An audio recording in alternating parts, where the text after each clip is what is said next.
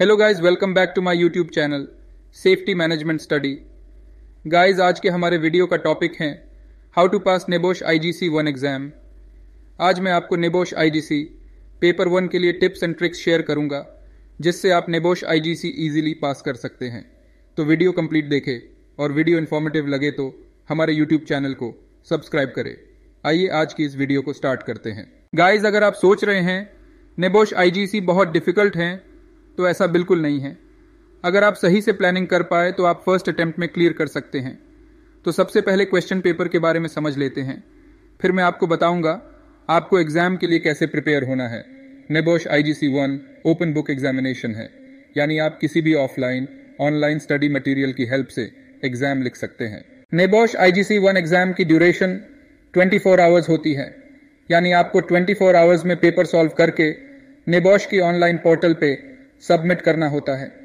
Question paper 100 marks का होता है और पासिंग मार्क्स 45 होता है।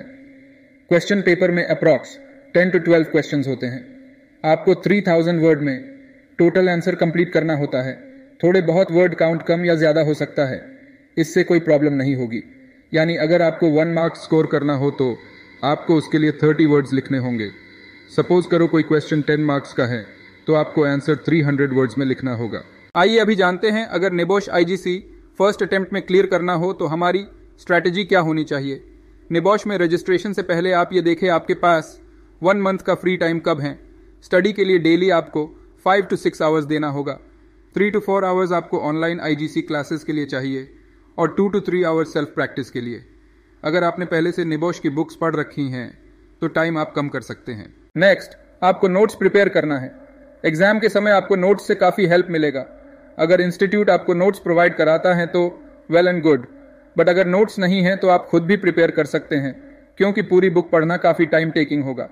नोट्स कैसे प्रिपेयर करना है? देखिए, निबोश आईजीसी में टोटल फोर एलिमेंट्स हैं। First why we should manage workplace health and safety इस एलिमेंट में थ्री मेन टॉपिक है मॉरल लीगल एंड फाइनेंशियल अभी आपको इन तीनों टॉपिक का नोट्स बनाना है। नोट्स में आपको कीवर्ड्स मेंशन करना है कीवर्ड्स क्या हैं, एक एग्ज़ाम्पल से समझते हैं। सपोज़ आप मॉरल पे नोट्स बना रहे हो तो आपको नोट्स में लिखना है सेफ्टी फॉलो करने के क्या क्या मॉरल रीजंस हैं। इसमें आप लिख सकते हो based on humanitarian ground it's a duty of employer to protect his workers यानी ह्यूमन बींग्स होने के कारण एम्प्लॉयर की ये रिस्पॉन्सिबिलिटी है कि अपने वर्कर्स को प्रोटेक्ट करें। तो इसमें ह्यूमैनिटेरियन ग्राउंड एक की वर्ड है।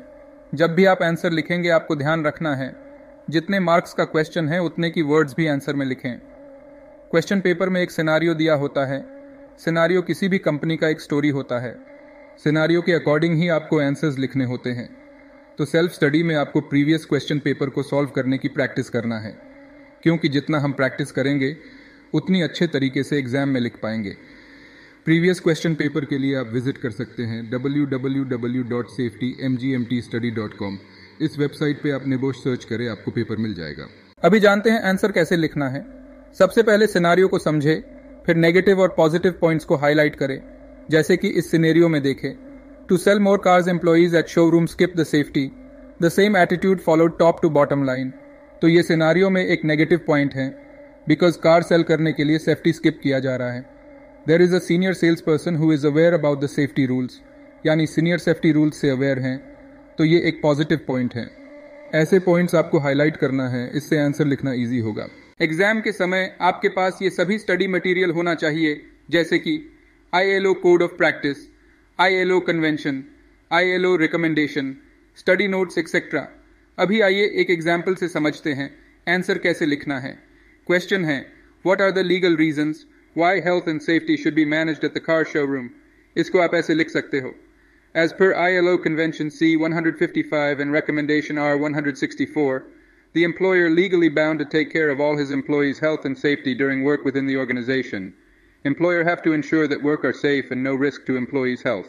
इसमें ILO convention C 155 and recommendation R 164 की वर्ड हैं ऐसे आपको 10 की वर्ड्स मेंशन करने हैं क्योंकि ये क्वेश्चन 10 मार्क्स का है और इसे 300 वर्ड्स में कंप्लीट करना है ILO code of practice ILO convention ILO recommendation क्या है ये जानने के लिए आई जी टू की वीडियो देख सकते हैं। वीडियो लिंक कमेंट बॉक्स में पिंड है।